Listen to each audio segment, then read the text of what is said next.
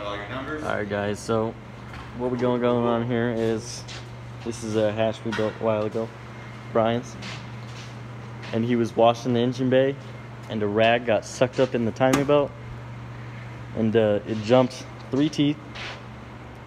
So we just reset the timing, and we're gonna do a compression check, make sure all the cylinders have compression, and see if there's any bent valves or anything, and we'll get back to you. All right, guys. The really big one. Yes. So I, definitely on the gas. I thought I clicked The other big start, but I didn't click start. But we did the the compression check, and this one was 150, 147, 150, and 160. So all the cylinders are good. All the cylinders have compression. And I'm just gonna button it back up, get it back together, and uh, see if it fires up. And if it fires up, we'll send it back home to him. I mean, it's been sitting in his garage for two years now because he ran a rag through it while cleaning it. You gotta, I mean, you gotta be careful cleaning your motor. If you clean the valve cover, I wouldn't recommend doing it with it on if you don't have a timing cover. Those are important.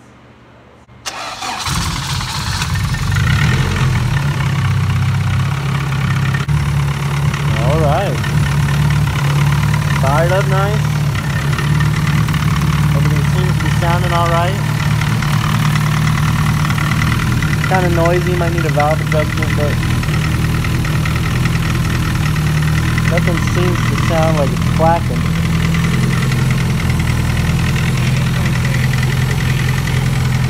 Yeah, it's saying a super lean. Yeah, like 22, 20. It's going. Oh, here it goes. It's coming back to life. Probably just some warm up enrichment or something. It might have been the injectors partially clogged or something, and they just cleaned up. Oh, from being stu stu yeah. closed for two years. Yep. Yeah. No leaks yet. I mean, hopefully there's no leaks. Things can still not swell and stuff, so.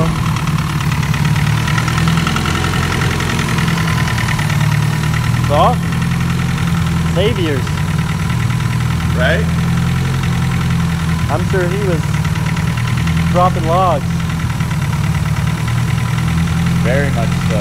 Yeah. Had some coolant from corn in the last car I did.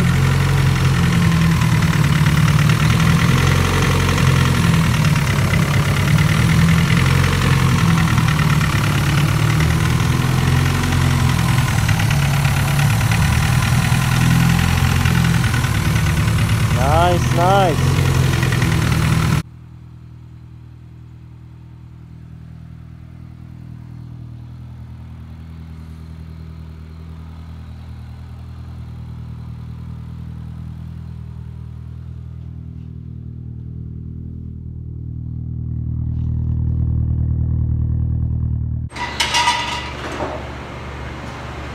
This is the next morning, but because my phone died last night and I didn't film any of it, which sucks, but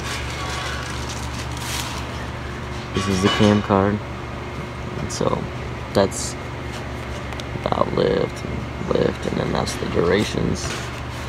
And then this is the conversion to lift to inches. Conversion inches because the gauges here are in inches. And then uh that is all converted to inches as well for the duration and all that.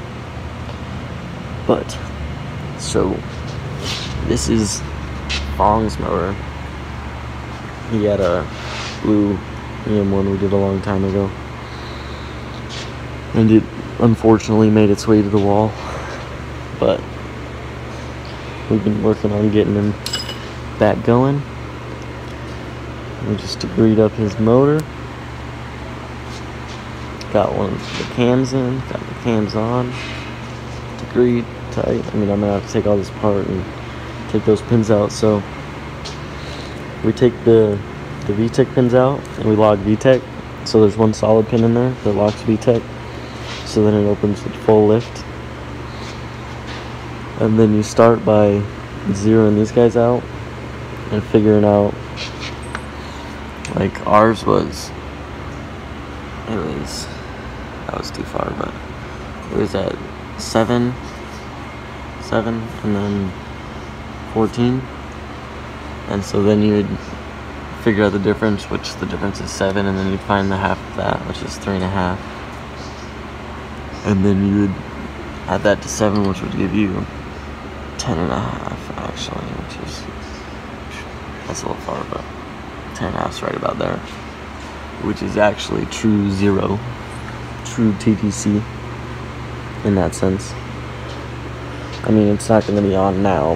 Now that we degreed the cams and everything, and we got 108 and we did 115 and a half because, I mean, we we were at 114 and a half, and then we overshot it to 115 and a half, and then we counteracted back and we went way too far, and then we got it back to 115 and a half, but with slightly different numbers. So I mean, we're 0.25 away on each side, 0.5 overall, but it is degreed and ready to go, and have this monster together.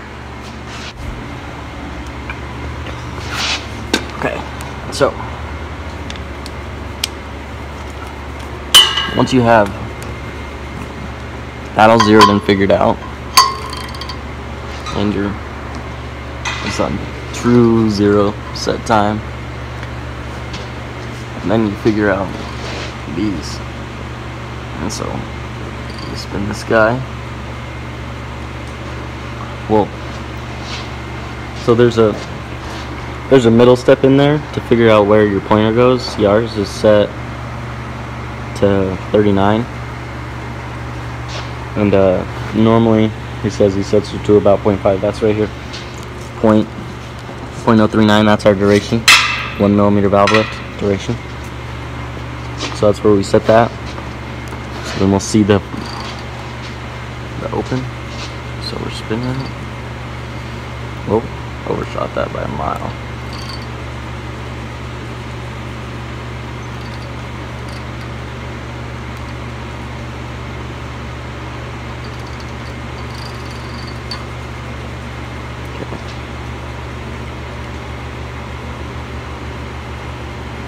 So 40 and 60 on the same mark. So we go right one.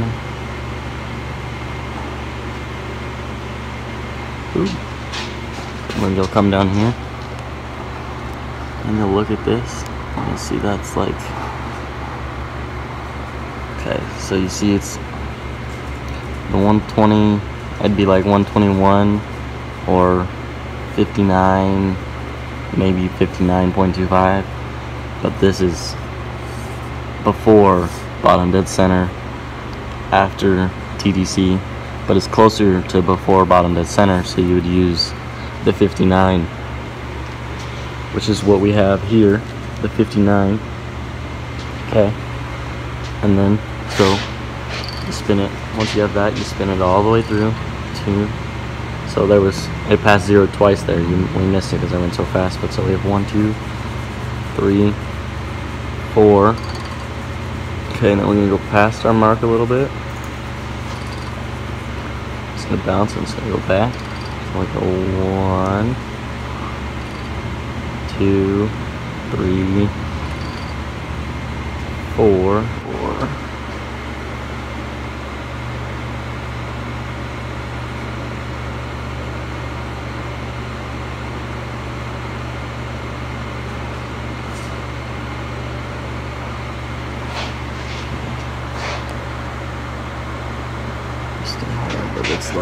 were before.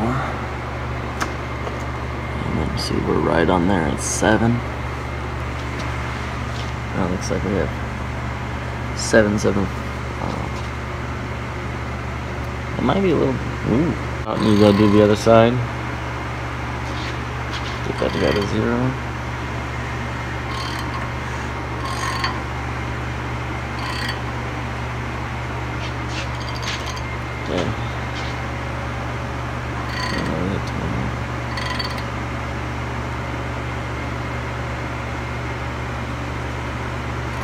right about here.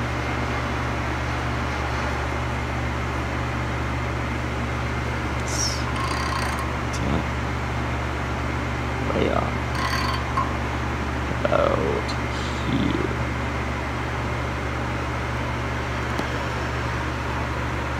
Hmm. And of course, oh,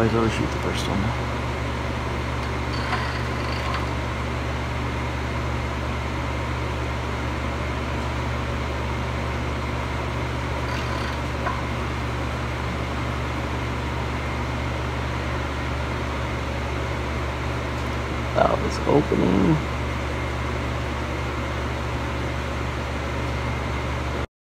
Okay, so once you get your zero down here and you have it at true TDC, then you go to your cam chart or whatever and you figure out your duration. This one's one millimeter and then our gauges are in inches, so we convert that to 0.039 inches. One millimeter equals 0.039 inches. And so then we mark there at 39, 39. Okay.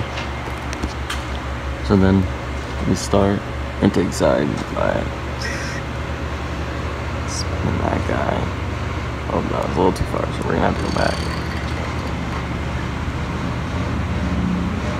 So let's start the inside. Intake side. You zero that guy out.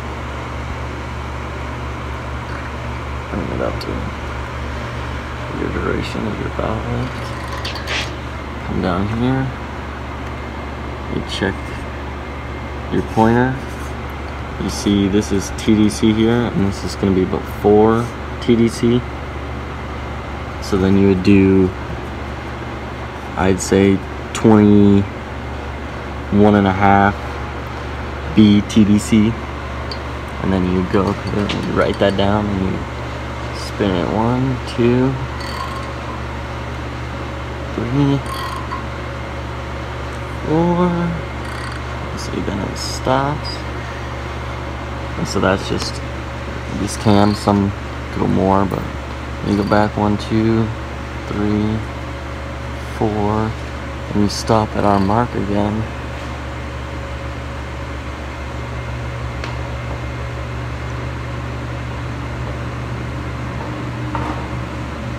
You stop at our point. You come down here. Look at the pointer. You see we're after bottom dead center. TDC is way over here. So we would use these blue markers being after bottom dead center. That'll come out to 58. And then you'd write that down. So then that would be our intake cam would be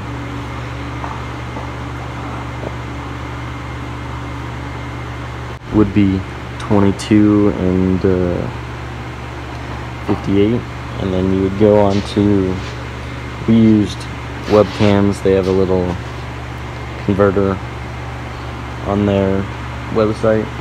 And it would just you put both your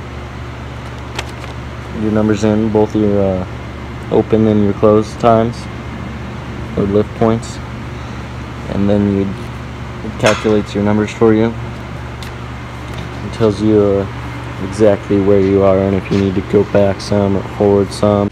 All right guys so after you get everything degreed and you get all your stuff there you're going to want to pull each one of these individually. Loctite them so nothing moves.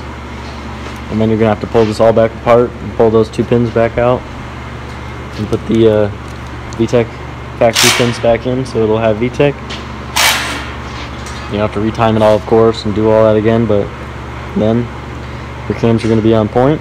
You won't have to worry about a, any valves kissing or any of that goodness. Bing bang boom swap those pins out. Alright guys so got it all back together I got it all timed. See I made my mark there. Made marks here. Just so I can see all that easier. Now I'm doing a valve adjustment to make sure everything's right. Do it at 7 and 9 you know. Just basic valve adjustment. Should be pretty sweet